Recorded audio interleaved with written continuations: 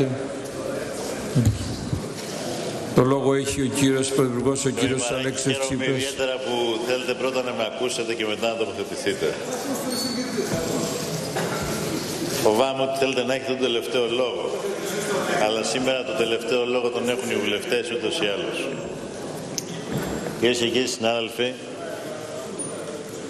Μην ερχόσαστε στο κεντρικό βήμα κύριε Πρωθυπουργέ, ελάτε εδώ καλύτερα να σας. δεν πειράζει. Μια χαρά είμαι και από εδώ. Κυρίε και κύριοι συνάδελφοι, βρισκόμαστε σε μια κρίσιμη στιγμή και καλούμαστε να πάρουμε αποφάσεις με κριτήριο την ευθύνη που μας βαραίνει.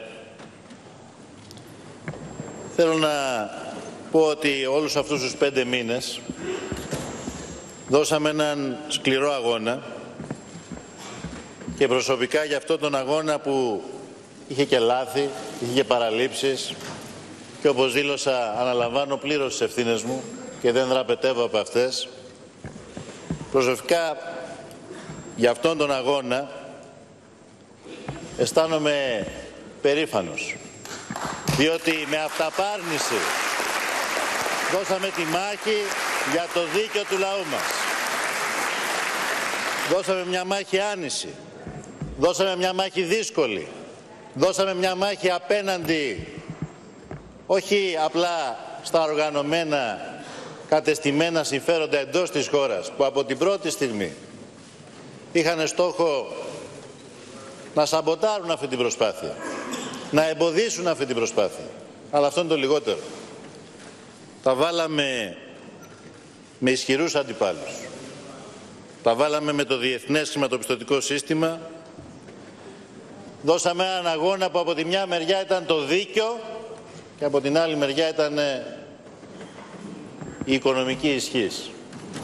Και με αυτή την έννοια ήταν ένας άδικος αγώνας.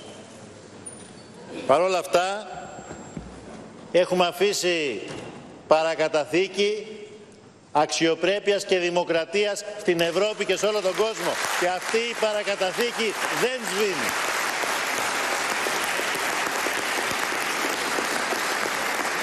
Είμαι βέβαιος, κυρίες και κύριοι συνάδελφοι, ότι αυτός ο αγώνας κάποια στιγμή θα φέρει καρπούς. Η σπορά θα καρποφορήσει στην Ευρώπη.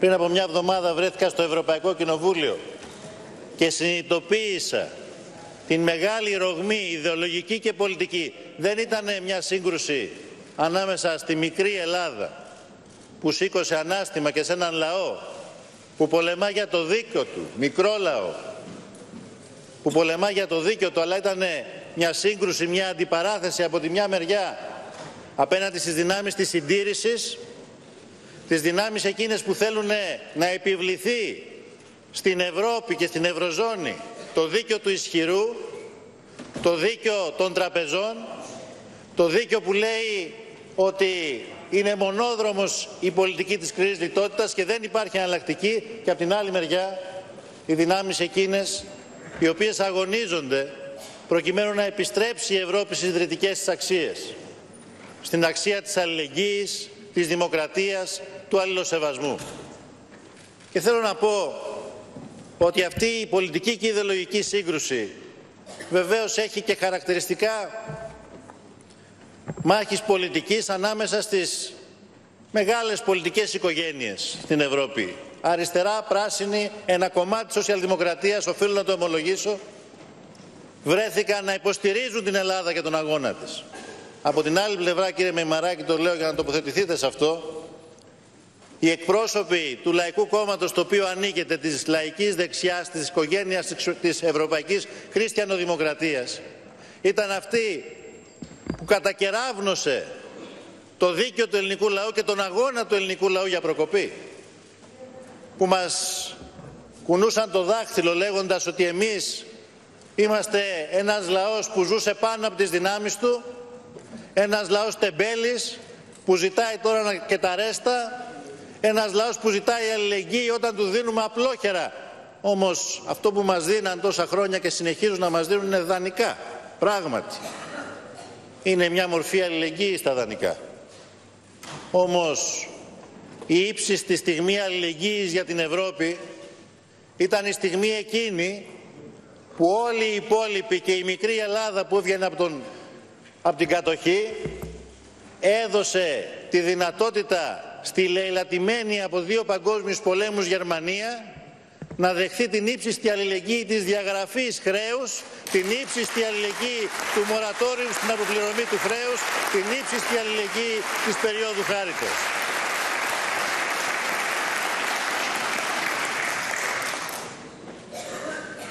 Κυρίες και κύριοι συνάδελφοι, θέλω να διαβεβαιώσω όλους και όλες, όσους και όσες σήμερα σε αυτήν εδώ την αίθουσα έχουν την αίσθηση ότι η κατάληξη αυτής της διαπραγματευτικής προσπάθειας που σίγουρα δεν είναι αυτή που επιθυμούσαμε σηματοδοτεί την απόλυτη επαναφορά του παλιού πολιτικού σκηνικού και τη δικαίωσή του να τους διαβεβαιώσω ότι πολύ σύντομα θα διαψευστούν. Το παλιό έχει τελειώσει σε αυτή τη χώρα. Έχει τελειώσει μαζί με τις επιλογές που έκανε στο παρελθόν, διότι υπάρχει μια κρίσιμη διαφορά. Η κρίσιμη διαφορά είναι ότι ο ελληνικός λαός έχει πλήρη συνείδηση και μπορεί να καταλάβει και ο τελευταίος Έλληνας πολίτης τη διαφορά ανάμεσα σε όσους δίνουν τη μάχη τη σκληρή με την ψυχή τους, την άνηση μάχη και αντιστέκονται και σε όσους παραδίδονται αμαχητοί. Είναι μεγάλη η διαφορά και θέλω να σας διαβεβαιώσω παρά το γεγονός ότι η συμφωνία που έχουμε μπροστά μας είναι δύσκολη συμφωνία παρά το γεγονός ότι θα μας βάλει σε στενά δημοσιονομικά πλαίσια όχι στενότερα από αυτά που είχαμε στο παρελθόν η προσαρμογή είναι σαφώς η ποιότερη. Θέλω να σας διαβεβαιώσω ότι εμείς τουλάχιστον αποτελούμε μία εγγύηση στον ελληνικό λαό ότι δεν θα προχωρήσουμε σε πράξεις και παραλήψεις όπως αυτές που γίναν στο παρελθόν. Εμείς δεν πρόκειται να δεχθούμε το κούρεμα των ομολόγων των ασφαλιστικών ταμείων κατά 25 δις, ούτε να ξεπουλήσουμε τράπεζες μέσα σε μια νύχτα. Αυτές δεν ήταν επιταγές των μνημονιακών επιλογών.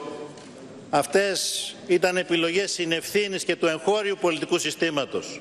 Αυτού του πολιτικού συστήματος που έχω την αίσθηση ότι σήμερα επιδιώκει μια ρεβάνς. Αλλά δεν είναι ώρα για ρεβάνς. Είναι ώρα για να αναλογιστούμε ότι αυτός ο τόπος αναγκασμένος να πορεύεται σε αυτό το σκληρό δημοσιονομικό πλαίσιο γιατί αυτή είναι σήμερα η Ευρώπη. Χρειάζεται ελπίδα και προοπτική. Χρειάζεται δυνατότητα και αέρα αλλαγής. Χρειάζεται να στηρίξουμε πάνω απ' όλα τις παραγωγικές δυνάμεις. Να στηρίξουμε τους ανθρώπους του μόχθου και της εργασίας. Να στηρίξουμε τους ανθρώπους εκείνους που μπορούν να δημιουργήσουν σε αυτόν τον τόπο παρά τις δυσκολίες παρά την εξαιρετικά δύσκολη συμφωνία στην οποία έχουμε καταλήξει. Θέλω να σας διαβεβαιώσω ότι σε ό,τι με αφορά και σε ό,τι αφορά θέλω να πιστεύω το σύνολο της κοινοβουλευτικής μας ομάδας. Δεν πρόκειται να κάνουμε πίσω από τη δέσμευσή μας να αγωνιστούμε μέχρι τέλους για το δίκιο του εργαζόμενου λαού των λαϊκών στρωμάτων στη χώρα μας το επόμενο διάστημα. Δεν πρόκειται όμως πάνω απ' όλα να κάνουμε το χατήρι σε κανέναν από τους πολιτικούς μας αντιπάλους μέσα και έξω από τη χώρα που από την πρώτη στιγμή αυτό που επιδίωκαν, αυτό που επιθυμούσαν ήταν η επιβεβαίωση της προφητείας και της προσδοκίας να αποτελέσουμε μία μικρή παρένθεση μέσα στο χρόνο. Δεν θα τους κάνουμε τη χάρη να αποτελέσουμε μία μικρή παρένθεση μέσα στο χρόνο.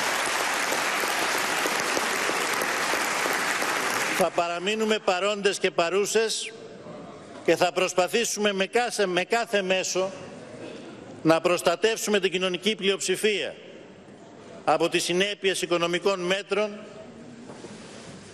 στην πλειοψηφία των οποίων δεν πιστεύουμε και είναι αλήθεια αυτό αλλά είμαστε αναγκασμένοι να εφαρμόσουμε διότι αυτό είναι σήμερα το πλαίσιο το ευρωπαϊκό. Δεν θα προσπαθήσω εγώ να ωρεοποιήσω την κατάσταση παρουσιάζοντας ένα εικονικό success story όπως η προκάτοχή μου. Θέλω όμως να σας πω ότι παρά τις δυσκολίες και τους δημοσιονομικούς περιορισμούς, σε αυτή τη χώρα μπορούν να γίνουν πολλά πράγματα. Πολλά πράγματα που θα υπηρετήσουν τα συμφέροντα της κοινωνικής πλειοψηφίας και θα αποκαταστήσουν τη σήμερα πληγωμένη περηφάνεια, το πληγωμένο αίσθημα δικαίου της ελληνικής κοινωνίας. Και θέλω να υπενθυμίσω σε όλους και σε όλες. Εγώ είμαι από τους πολιτικούς που ποτέ δεν πίστεψα ότι για όλα τα δεινά σε αυτόν τον τόπο ευθύνονται οι ξένοι. Ο μεγάλος αντίπαλος, και μιλάω με όρους, ας μου το επιτρέψετε, με όρους ταξικούς, ο μεγάλος αντίπαλος για τις δυνάμεις της πρόοδου και της αριστεράς βρίσκονται εντός των τυχών. Και εδώ πρέπει να δώσουμε τη μάχη. Είναι οι δυνάμεις της ολιγαρχίας, των καρτέλ, των κρατικοδίαιτων επιχειρηματιών, οι δυνάμεις της διαφθοράς και της διαπλοκής, της γενικευμένης φοροδιαφυγής, αυτές οι δυνάμεις που ευνοήθηκαν τα προηγούμενα χρόνια από τις μνημονιακές πολιτικές, αλλά και από αυτούς που κυβερνούσαν τον τόπο. Μην το ξεχνάμε αυτό. Η δέσμευσή μας είναι ότι η κυβέρνηση αυτή θα κάνει ό,τι είναι δυνατόν. Με το ίδιο πάθος που πάλεψε έξι μήνες τώρα αυτόν τον άνισο αγώνα στο εξωτερικό. Θα κάνει ό,τι είναι δυνατόν για να μπει μια τάξη σε αυτή τη χώρα. Για τις αναγκαίες μεταρρυθμίσεις στο δημόσιο τομέα. Για την καταπολέμηση της φοροδιαφυγής. Για το διαρκές κυνήγι της διαφθοράς. Και την ίδια στιγμή αυτή η κυβέρνηση θα προνοήσει ώστε να αμβληθούν οι κοινωνικές επιπτώσεις των μέτρων και να μην παραδοθεί η κοινωνική πλειοψηφία βορρά στις δυνάμεις της ακραίας εκμετάλλευσης, στις δυνάμεις του νέου φιλελευθερισμού. Κυρίες και κύριοι βουλευτές, βρισκόμαστε στην ώρα της κρίσης και της ευθύνης. Και αυτό αφορά όλους και όλες μας. Άκουσα πριν από λίγο πολλούς από εσάς να μιλάτε για τον εκβιασμό. Το ίδιο γράφουν και διεθνή μέσα ενημέρωσης αυτές τις μέρες. Θα ήθελα να σας ρωτήσω με μεγάλη ειλικρίνεια. Πιστεύετε ότι είναι υπαρκτός ή πλαστός αυτός ο εκβιασμός; Και αναφέρομαι, για να μην παρεξηγηθώ, στις εναλλακτικές επιλογές που είχα προχθές το βράδυ μέχρι το πρωί της Δευτέρας σε αυτή την 17ωρη σκληρή διαπραγμάτευση.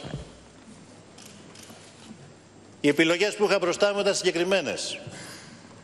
Η μία ήταν η επιλογή να αποδεχτώ μια συμφωνία σε πολλά σημεία της οποίας έχω ριζικές διαφωνίες. Η δεύτερη επιλογή ήταν η άτακτη χρεοκοπία. Δεν θέλω να αναφερθώ στις συνέπειές της. Όλοι τις γνωρίζουμε. Υπήρχε και μια τρίτη επιλογή, υπάρχει και τώρα. Το σχέδιο Σόιμπλε για τη συνενετική έξοδο της Ελλάδας από το ευρώ και το παράλληλο νόμισμα. Αν τη θέλουμε και τώρα έχουμε χρόνο να, να τη ζητήσουμε. Μας την προσφέρει. Ανάμεσα σε αυτές τις επιλογές βάρινε σε μένα όπως και σε κάθε άλλο σε αυτή τη θέση πιστεύω από όποια πτέρυγα του Κοινοβουλίου η επιλογή της ευθύνης απέναντι στα λαϊκά στρώματα, απέναντι σε μια χυμαζόμενη και λαιλατημένη τα τελευταία πέντε χρόνια κοινωνία να μην οδηγηθεί σε χειρότερη μοίρα, σε χειρότερη θέση από αυτή που είναι τώρα. Κυρίες και κύριοι βουλευτές, και κύριοι συνάδελφοι, θα ήθελα με ειλικρίνεια να θέσω αυτό το ερώτημα σε όλους σας, στον καθένα και στην καθεμιά που σήμερα θα ψηφίσει. Ο εκβιασμός στον οποίο αναφερθήκατε θεωρείτε ότι είναι πραγματικός ή πλαστός; Εάν θεωρείτε ότι είναι πλαστός, είμαι ανοιχτός να ακούσω τις αναλλακτικέ επιλογές και μαζί να προχωρήσουμε σε αυτές. Εάν θεωρείτε ότι είναι πραγματικός όμως, τότε δεν υπάρχει άλλη επιλογή από το να μοιραστούμε όλοι το βάρος αυτής της ευθύνης.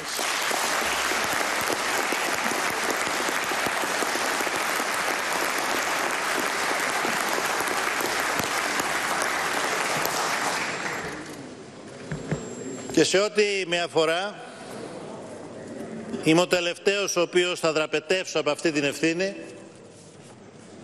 αλλά είμαι και ο τελευταίος ο οποίος οικειοθελώς θα προσχωρήσω στο σχέδιο των αντιπάλων. Δηλαδή, ο τελευταίος ο οποίος θα προσχωρήσω με τη δική μου επιλογή στο να διευκολύνω το σχέδιο απομάκρυνσης από τα κυβερνητικά έδρανα ετούτης εδώ της κυβέρνησης που έδωσε τον αγώνα με θάρρος, με αξιοπρέπεια, με τόλμη όλους αυτούς τους μήνες της σκληρής διαπραγμάτευσης.